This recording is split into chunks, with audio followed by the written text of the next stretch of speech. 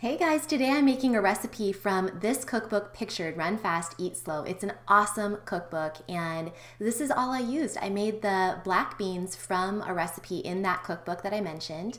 I got my son to help me whisk up some eggs and the next thing we did is sauteed or just wilted some spinach in a big cast iron skillet. You want the steam to evaporate so it's not too wet. And then you can add in the eggs and just scramble up the eggs. Just added some salt and pepper. Garlic salt or garlic powder would be great in there too. Then we went ahead and gave it a try. We just assembled a breakfast burrito. okay. oh my gosh, slow down. Do you like it? Uh-huh. Okay, good. What do you give it? A forks up? Mm-hmm. Okay. All right, to make the frozen ones. So I ended up using gluten-free tortillas is what I used. So I added a little extra tortilla, kind of a tortilla and a half to make it so that the tortillas wouldn't get too wet or soggy with all these ingredients. So the eggs, the beans, then I rolled it up like a burrito and just wrapped it tightly in foil.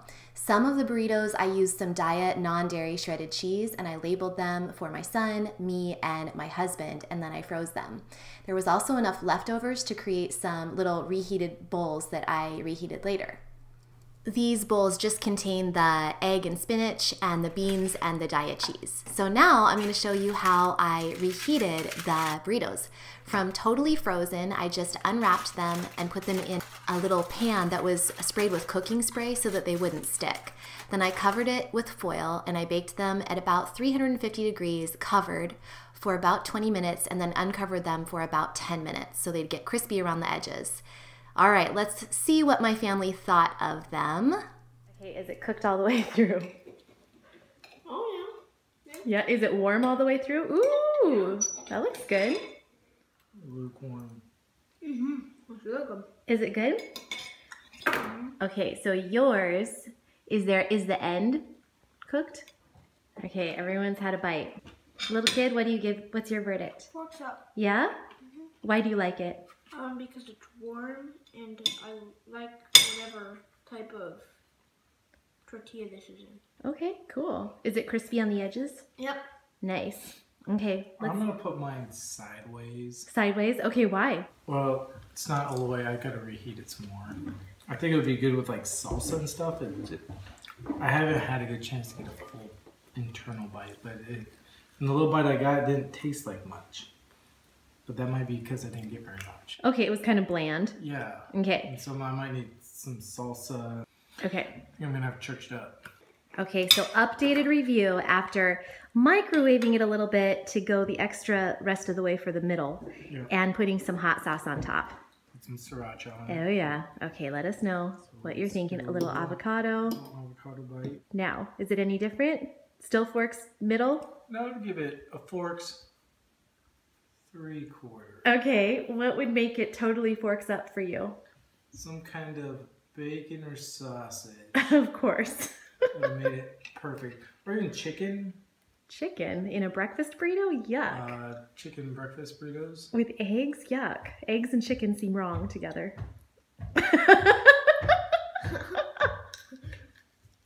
Don't you think so? Yeah.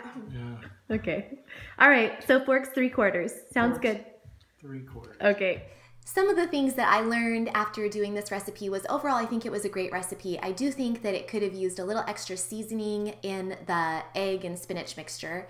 And the other thing that I learned was that I actually don't, I didn't really like the texture of the reheated eggs. So the bowls that I made that just had the spinach and eggs and the beans and the non dairy cheese on top, I let them thaw in the fridge overnight and then I microwaved them the next day. And it it took a long time for it to microwave all the way through and I don't really like microwaving stuff for that long. And I also didn't really care for the texture of the of the eggs cuz these had more eggs in them. These bowls had more eggs than the breakfast burritos. So, regarding the final breakfast burrito that was frozen, um, I went ahead and tried it also uh, separately from my husband and son. Whereas with my husband and son, I took the completely frozen breakfast burritos, stuck them in the oven under foil, and then uncovered them. And then my son's was perfectly cooked through, but my husband's was not. It was a little bit bigger and it, needed some extra time in the microwave. Anyway, theirs was really crispy around the edges and it was really good. Mine, I tried to see what it would be like to take the frozen breakfast burrito, thaw it overnight in the fridge, and then stick it in the microwave the next day. So no oven at all, just microwave. And I found that it was a little bit, it was good, um, but it required more microwave time than I really wanted to to get it cooked evenly all the way through. And um, it, I don't know, it was, the tortilla got a little bit soft and um, mushy. But then again, we were using gluten-free tortillas and not like a a regular um, gluten full tortilla, and sometimes those do hold together better than the gluten free variety. So, anyway, my verdict on this recipe was it's a great idea, and I think that overall I give it a forks three quarters like my husband three quarters. I don't have my fork with me. I really still recommend that cookbook, Run Fast, Eat Slow. It's an awesome cookbook. And I, I really, the black bean recipe is fantastic. Again, this make ahead breakfast burrito was a great idea. I would love for someone to try it with regular tortillas if they don't have gluten issues and let us know how the tortillas hold up. Let us know if you find that it works to microwave it the next day, what you think about thawing it the night before so it's thawing in the fridge overnight versus just putting in the microwave or the oven completely frozen. Just let me know what you think. It's uh, it's fun to connect and share. So if you like this video, please subscribe for more. I have new videos coming at you every couple of weeks and definitely check the video notes for any recipe links or products I use, anything like that. That'll be in the video description below. Until next time, remember eat clean, move every day, and you will shine brighter. Thanks for watching.